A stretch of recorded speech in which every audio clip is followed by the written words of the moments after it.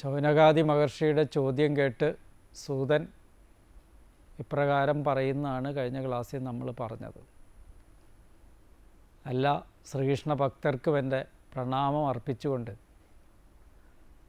ഭഗവത് അനുഗ്രഹം ഏവർക്കും ഉണ്ടാകട്ടെ. ഓം നമോ ഭഗവതേ വാസുദേവായ എന്ന മന്ത്രാക്ഷരി ജപിച്ചുകൊണ്ട് ഭഗവാന്റെ അനുഗ്രഹം ഏവർക്കും ഉണ്ടാകട്ടെ എന്ന് ആദ്യം തന്നെ ആശംസിച്ചുകൊണ്ട് തന്നെ കഥയിലേക്ക് കടക്കാം. സൂതനോട് ചോദിച്ച ചോദ്യം സൂതൻ പറഞ്ഞു ഇതേ ചോദ്യം തന്നെ. പരീക്ഷത്ത് മഹാരാജാവ് ശുഖബ്രഹ്മർഷിയോടും ചോദിച്ചിരുന്നു. അതിന് ശുഖബ്രഹ്മർഷി ഇപ്രകാരമാണ് മറുപടി പറഞ്ഞത് എന്ന് പറഞ്ഞുകൊണ്ട് സൂതൻ തന്റെ ഉപദേശങ്ങൾ താൻ ശ്രവിച്ചിരിക്കുന്ന കാര്യങ്ങൾ ശൗനകാദി ഋഷിമാർക്ക് പറഞ്ഞു കൊടുത്തു തുടങ്ങി. അവരെല്ലാം വളരെ ശ്രദ്ധയോടുകൂടി കേട്ടിരുന്നു. എന്തായിരുന്നു അത് എന്ന് ചോദിച്ചാൽ പരീക്ഷത്ത് മഹാരാജാവ് ചോദിച്ച് ശുഖബ്രഹ്മർഷിയോട് അല്ലയോ ബ്രഹ്മർഷെ വിതുരർ കുറിച്ച് കേട്ടിട്ടുണ്ട്. ഭഗവത് ഭക്തനാണ് ഉദ്ധവനെ പോലെ ശ്രേഷ്ഠ പുരുഷനാണ് ധൃതരാഷ്ട്രർക്ക് വേണ്ടുന്ന ഉപദേശങ്ങളെല്ലാം കൊടുത്തിരുന്ന ആളാണ്. പക്ഷേ ദുര്യോധനന് മാത്രം വിതുരര് ദാസീപുത്രനെന്ന് മാത്രമേ സംബോധന ചെയ്യുള്ളൂ വിതുരരോട് അല്പം പോലും താല്പര്യം ദുര്യോധനന് ഇല്ലായിരുന്നു. അതിന്റെ പ്രധാന കാരണം എന്താണെന്ന് ചോദിച്ചു കഴിഞ്ഞാൽ വിതുരരുടെ ശ്രീകൃഷ്ണ ഭക്തിയാണ് പ്രധാന കാരണം. ഉദ്ധവന് ഭഗവാനോടുള്ള ഭക്തി എപ്രകാരമാണോ അപ്രകാരം വിതുരർക്കും ഭഗവാനോട് ഭക്തിയുണ്ടായിരുന്നു.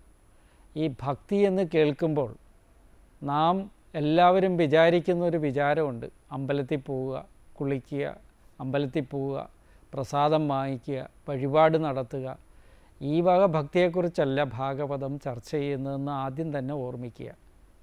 ഇവിടുത്തെ ഭക്തി എന്ന് പറഞ്ഞു കഴിഞ്ഞാൽ നിഷ്കാമകർമ്മം ചെയ്ത് നല്ല ശുദ്ധമായ മനസ്സോടുകൂടിയ ഭക്തന്മാരെക്കുറിച്ചാണ് ഇവിടെ പറയുന്നത്. അങ്ങനെയുള്ള ആളുകളാണ് ഇവരൊക്കെ എന്നുള്ള കാര്യം നമ്മൾ ഓർത്തിരിക്കുകയും വേണം.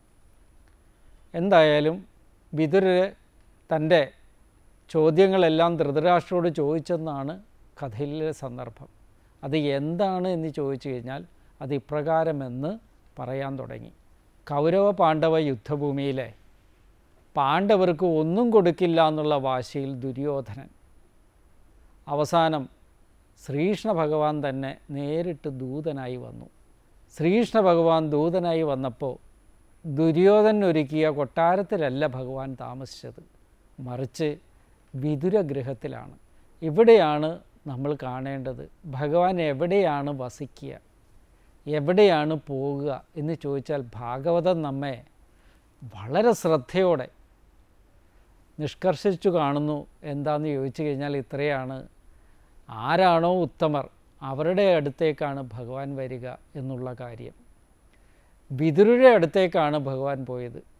ഇവിടെ എല്ലാം അണിച്ചൊരുക്കിയ കൊട്ടാരത്തിന്റെ ഉള്ളിൽ പ്രവേശിക്കാതെ വിതുരഗ്രഹത്തിൽ ചെന്ന് വിതുരരുമായിട്ട് സംവാദത്തിലേർപ്പെട്ട് അവിടുത്തെ ഭക്ഷണവും കഴിച്ച് അവിടെ കിടന്നുറങ്ങിയ ശ്രീകൃഷ്ണ ഭഗവാനെ ആണ് നമ്മൾ ശ്രദ്ധാപുരസ്കരം ഭജിക്കേണ്ടത്.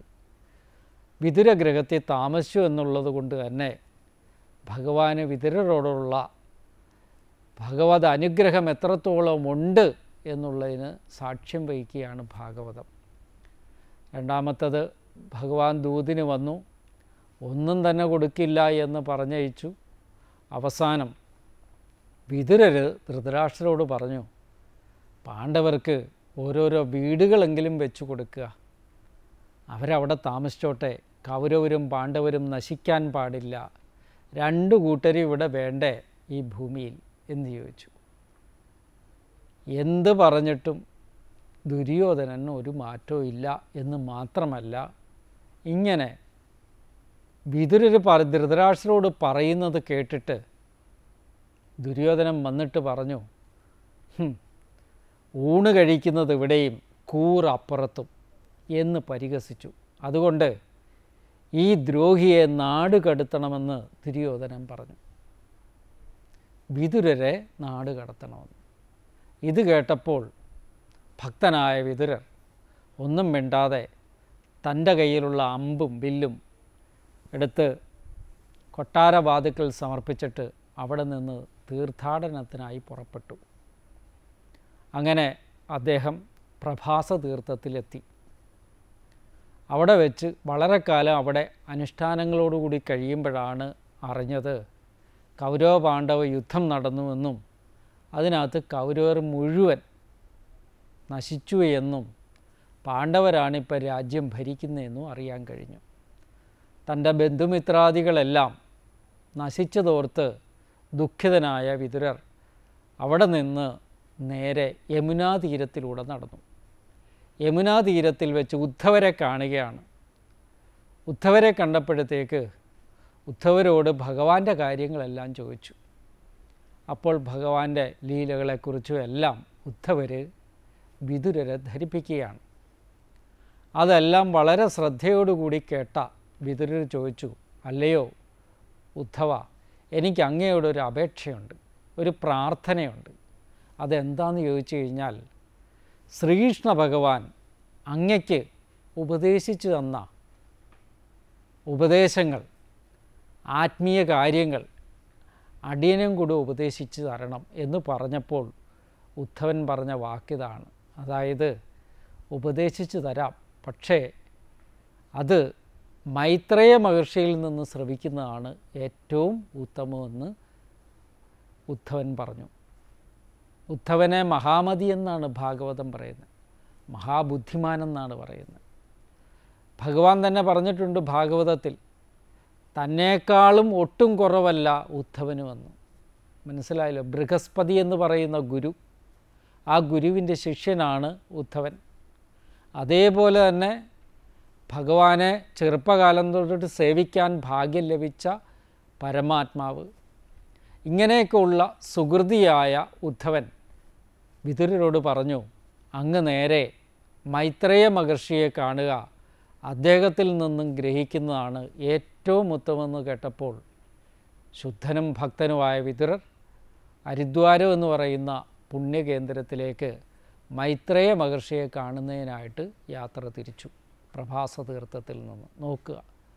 നമുക്കിവിടെ പരമപവിത്രമായ ജീവിതം നയിക്കുന്ന വിതുരർക്ക് ആത്മീയ കാര്യങ്ങളോ ഉപദേശിച്ചുകൊണ്ട് ഉദ്ധവൻ നടന്നു നീങ്ങിയപ്പോൾ മൈത്രേയ മഹർഷിയിൽ നിന്ന് ശ്രീകൃഷ്ണ ഭഗവാൻ അരുളി ചെയ്ത മഹാവാണികൾ ശ്രവിക്കുന്നതിന് വേണ്ടി വിതുരരും യാത്രയായി.